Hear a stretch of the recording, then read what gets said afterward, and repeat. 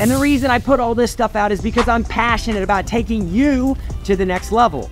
Psst. In this video, I could be telling you some things that could be holding you back. As a matter of fact, these things hold back millions of people on a day-to-day basis, and they don't even know about it. So if you don't know me, my name's Tyson Durfey. I've been a world champion professional rodeo athlete. I own multiple successful companies such as Shea Michelle Buckles and Shea Baby Boots and the No Limits Mentorship Program. I'm also a professional speaker, and I love to help people transform into the highest performing versions of themselves. And if you've been struggling with your mindset, with your mental toughness, with your attitude, these things could be holding you back. And not only could they be holding you back, but I'm going to give you the key to be able to overcome them, to go out and crush it. And so the first thing I want to talk to you about is you can't live in the past and expect a bright future. So many times we get around people who constantly talk about the past. I mean, think about it. It could be your parents, it could be your grandparents, it could be your friends that you hang out with, and they use words like, You don't understand. I could have had class. I could have been a contender. Or they'll say things like, back in the day, it was so awesome. Everything was great back in the day, but nowadays things are different. Nowadays things are hard. Nowadays things suck. And so if you're living in the past, you cannot expect a bright future.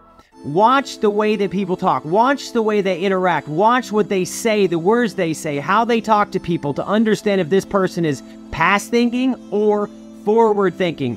Typically, people who are past thinking are negative people. They believe that their good old days are behind them and that the hard days are in front of them. On the flip side of it, people who are forward thinking tend to think about the future what I'm going to do, what I will do, what I must do. And so I would ask yourself, where do you think? Do you find yourself thinking a lot in the past? Do you find yourself thinking a lot in the future? Or do you find yourself thinking a lot in the present where you are right now? Myself, I came from an environment where very much it was thinking in the past all the time. The good old days, how it used to be. And these things really carried through to my performance. When I became a professional rodeo athlete, I would think about the last competition, not the next competition. And I would truly tell you that the most important time of your life is tomorrow. It's always tomorrow. It's always the next day. It's always where you're going, what you're going to do. So if you find yourself being stuck in the past, cut it out. Get it out of your head. Get it out of your head because it's not going to serve the future that you want. If you're around people who are negative all the time, cut them out. I know what you're thinking. Ah, I can't cut out my friends. I can't cut out my parents. But you can limit your exposure to them. You can limit the way that you interact with them. You can gently nudge them into a conversation talking about the future without them even knowing about it. It may not be okay right now, but it's gonna be all right later. So limit your interactions with them. And if you have an interaction with them, have a designed strategy to pull them out of the past and into the future. The next thing, if you're around people who constantly justify things, they say, you know, I was gonna go out and chase my dreams, but then this happened and I can't. Or I'm gonna wait when the time's right, then I'm gonna go. Or they're like, I'm gonna wait till next January 1st and then I'm going to go lose the weight. It kind of sounds like you're you're like making excuses. You see, that is literally justifying. It's an excuse to stay average, my friends. And average is always the enemy. If you want to be mentally tough, if you want to be a high achiever, if you want to go to the next level, if you want to chase your dreams, if you want to crush your life, if you want to build a badass business, average is always the enemy. Listen to the way that people talk. Listen to the way that you talk. If your life was a movie and it started now, forget about whatever financial disasters you've had, personal failures, relationship failures. Ask yourself, do I justify things? Do I justify the way things are? Is this something that is a habit or is it something that I can cut off and create a life on my terms? A lot of times, people who are past thinking tend to justify things to keep them comfortable, to keep them in a shell where they're comfortable, where they don't have to step outside their comfort zone. But the truth is, the only way to the best life that you will go get is on the other side of average. Watch the justification. If you're around people who justify things, limit that exposure. Get them thinking about forward thoughts, next level thoughts. If you justify things, yeah, I would, I should, I coulda, but you know, this happened. That is not your reality. You are so much greater than that. You are so much better than that. Stop justifying yourself and start taking action. And that's the key. A lot of times, if we're justifying, we're sitting still. And the key to getting over justification is to start taking action now. Like literally, get up, Go take action, do something new, go for a run, get some movement. and you'll find that you begin to feel so much better. And that's my advice to people who think in the past, who justify where they're at. My advice to them is to start taking action now. Stop talking. Stop. Like literally, stop talking and start taking action because you will learn and you will grow. That's where possibilities are when you take action. Because guess what's going to happen when you start taking action? You're going to feel good. It's going to feel great for just a moment. And then you're probably going to make a mistake. And instead of living in the past and saying, oh, I'm an idiot, oh, I'm stupid, oh, I shoulda, woulda, coulda, oh, I should just try next week. No, you're going to learn from it when you make that mistake. You're going to learn from it and you're going to grow. And then you're going to take that new person, that one that's grown, that one that's developed, and then you're going to take action again. And you're going to gain some steam and you're going to gain some momentum and it's going to get better and better and better and better. And then guess what? Boom, you're to hit a brick wall again. And then you're to say, ah, I shoulda, woulda, coulda. No, I remember the guy in pink telling me to stop all that crap. Stop thinking in the past. Stop justifying. Just start taking action again. Just learn from it and take action again. And then you're gonna take action again. You're gonna grow and you're gonna develop and you're gonna get better and it's gonna be amazing. And then guess what? You're gonna hit a little bit of a, a brick wall again. And instead of justifying, instead of living in the past, instead of going back to all that crap, you're gonna just start taking action again. And guess what?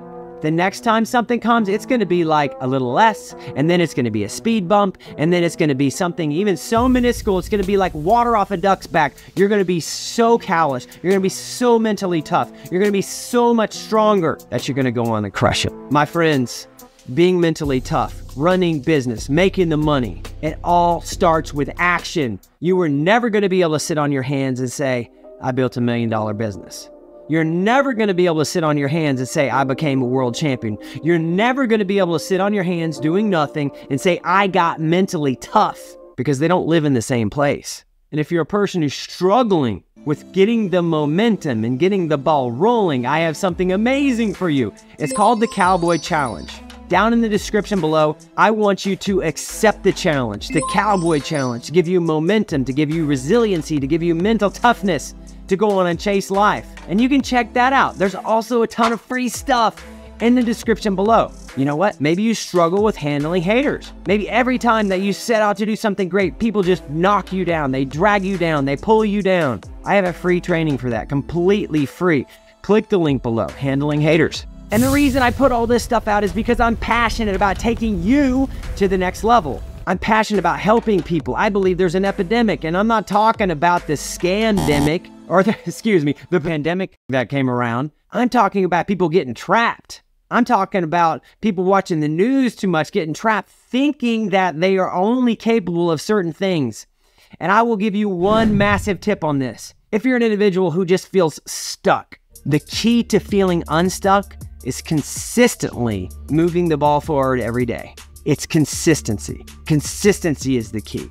Whether you come back to my videos, you find motivation, you learn about things, you learn about business, you learn about your mindset, you learn about all this stuff. It's consistency coming back to my videos day by day by day. Or maybe not. Maybe finding motivational videos. Maybe it's actually taking action, going on a 20 minute walk every single day, but doing it day in and day out, day in and day out. That will begin to give you the belief that you need to be unstuck. And that's what the Cowboy Challenge is all about. It's about getting you moving and holding you accountable to go chase your dreams. And the pandemic that I think that's going on in America right now is a pandemic of people not believing in themselves and not knowing that these beliefs were pushed on them by society. Not knowing that these limiting beliefs that they have about themselves were created by people imposing their will on them without them even knowing about it. You see, I believe we're living in a world that is mentally weak, and I'm sick of it. And I want to give people the tools,